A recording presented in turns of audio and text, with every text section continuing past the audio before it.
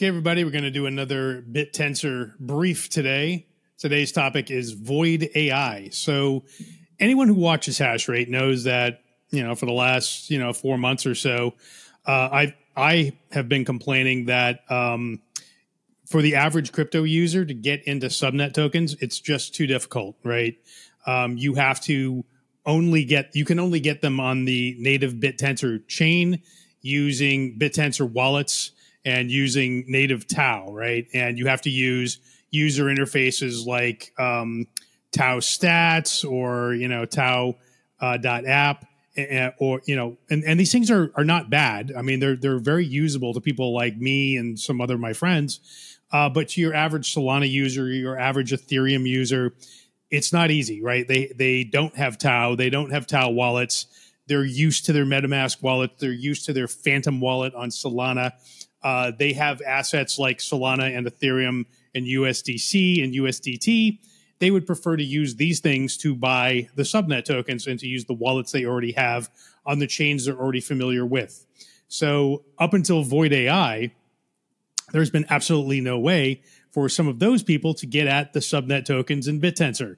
Uh, and this has resulted in some of the subnet uh, tokens in BitTensor having extremely low market caps compared to um, you know comparable AI projects and products out in the real world, you know, outside of BitTensor, uh, by orders of you know magnitude of you know 100 to one or sometimes a thousand to one, right? So kind of just crazy mispricing going on inside the the subnet universe, comma, but also a massive opportunity for anyone who can get in there. So along comes Void AI. There are other parties doing similar things, but today we're going to talk about Void AI because they are the first and the only one of these things that are available right now, um, they make subnet tokens available to users on Solana. So um, what they've done is they've created a bridge between the BitTensor universe uh, for TAO, the native token. So there's now Wrap TAO on Solana, um, and also the new the new thing they just enabled were um, wrapped subnet tokens. So all not all 128, but almost all 128 uh, BitTensor subnets uh, now have corresponding wrap tokens on Solana. So this means you can use your SOL and your Phantom wallet on the Solana chain and go and purchase Chutes, you know, or you know Targon, or you know any of the 128, most of the 128, the major 128 uh, subnets that are on BitTensor. Now, I've also expressed some concern about the fact that you know in the past uh, there have been a lot of of uh, bridge hacks, right? So the major way in which hackers steal crypto is they find a bridge, uh, right, uh, somewhere where the tokens on one side of the bridge on one chain, there's a massive amount of, of tokens locked up, sometimes hundreds of millions of dollars worth of tokens that are sort of locked and frozen in carbonite over here. And then wrap tokens appear on this other bridge here. But this is a massive honeypot over on the other side where the original tokens live if a bad person can get into that stash of tokens, that's a great way to to grab a hundred million dollars worth of X, Y, and Z um, assets over on this other chain. So there've been a number of, of chain hacks. So that's the big danger with this sort of bridge and wrap token setup. Um, however, Chainlink has come along with Chainlink's cross-chain interoperability protocol, um, which is a, a way to make bridges a lot more reliable and and hopefully hack proof. And so far, uh, CCIP has proven to be pretty good. And it's definitely an improvement over kind of the bridge and wrap token setups we've seen in the past. So uh, I am hopeful that, and Void uses this, by the way, for uh, their TAO Solana bridge mechanism. So uh, I am hopeful that this is enough to keep this this uh, this setup safe. Okay, so because there are now wrapped uh, BitTensor tokens over in the Solanaverse, uh, that means that any DeFi protocol in Solana can add uh, can add these tokens, can add these BitTensor subnet tokens and and wrap TAO uh, to existing DeFi applications with only one line of code. So that means that lending protocols, you know, who knows what people are going to do with this, but you could have you could basically have um, you know all, you could be able to borrow wrap Chutes, right, or use wrap Chutes as collateral uh, against something else you know, against a stable coin, right? You could have collateralized Chutes collateralized stable coins now existing on Solana. So there are all kinds of things that are now possible. All the kind of crazy innovation we've seen in DeFi. Uh, BitTensor Wrap TAO and BitTensor Wrap subnet tokens can now be used in all these DeFi things that we all know and love. Now, uh, at the moment, uh, these alpha tokens are at this moment tradable on um, on Raydium, so the major Solana exchanges like Raydium, Uniswap, and Aerodrome. Uh, so the alpha tokens, most of them are available right now. Um, the liquidity, the liquidity, however, is pretty low because they just launched this like two days ago, right?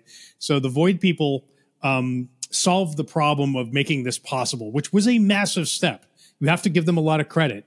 A lot of people are complaining because there's not a lot of liquidity right now, but oh my God, you know, first of all, we had to make it possible for there to be liquidity and for the, this bridge and wrap token setup to exist, which Void has successfully done. So thank you, Void people. You were the first to provide this kind of capability to the world. So thank you. Um, now the rest of the world has to come along and supply liquidity, and the liquidity is in the process of booting up.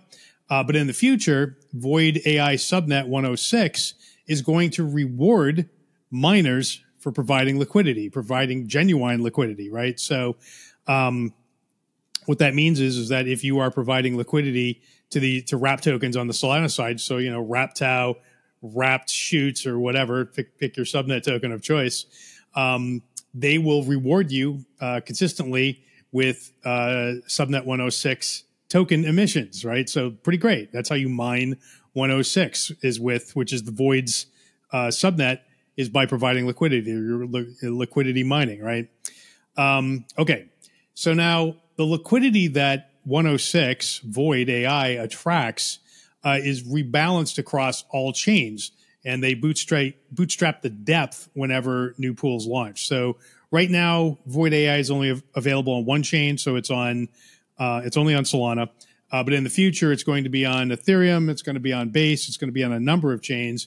And basically, it's going to, because there's bridges between all these chains for the wrapped subnet tokens and wrapped TAO, uh, they're going to automatically rebalance across all chains and, uh, and, and basically keep the liquidity uh, viable across in this, in this cross chain universe. Uh, using all the liquidity at their disposal to continuously rebalance everything across all chains. So pretty cool.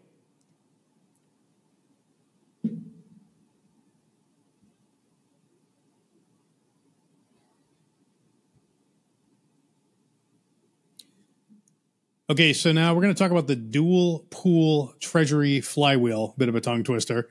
Um, so what this means is is that um, 50% of all the profits that Void makes from trading fees or bridge fees um, is going to be used. You know, basically they're going to go buy RapTau and USDC. They're going to take their own profits, 50% of them, and automatically buy RapTau and USDC in equal amounts and add them to the pools on every supported chain.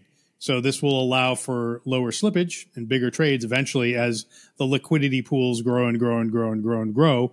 Hopefully, as more people use this stuff, right? Use the bridges and use the wrap tokens. The other 50% of their profits will auto buy subnet 106 tokens. Um, so they're going to be, you know, buying back their own tokens. Furthermore, they're going to be adding those bought tokens to the wrap subnet 106 pools in all of these chains, you know, like Solana and Ethereum, et cetera, and they're going to grow their own market depth instead of burning tokens. So uh, you're going to be able to see all this. The treasury wallets are all on chain and fully transparent, and the buybacks are automated.